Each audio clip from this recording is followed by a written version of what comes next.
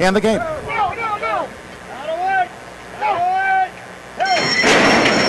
Away and running at Arlington. Smack Daddy broke sharp along with Palm Breeze. Courthouse, Chief What, Great Uncle Scott in and amongst the next three. When we come back to Cold Truth up the fence. And the Great Campo has dropped back to last.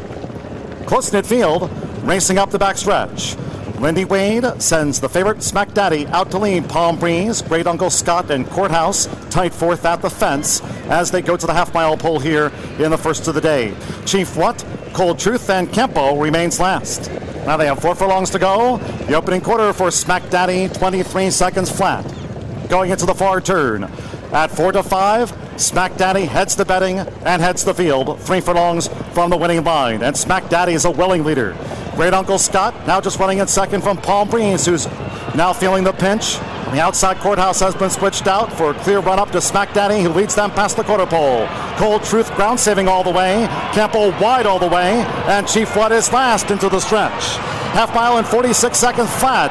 Into the teeth of the wind now. Final furlong for Smack Daddy. The Daddy still in front of Great Uncle Scott.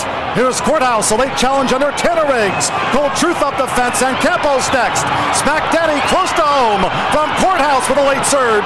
Smack Daddy, Courthouse. Smack Daddy prevails. Smack Daddy to win it from Courthouse's late bid. Great Uncle Scott, Cold Truth finished fourth.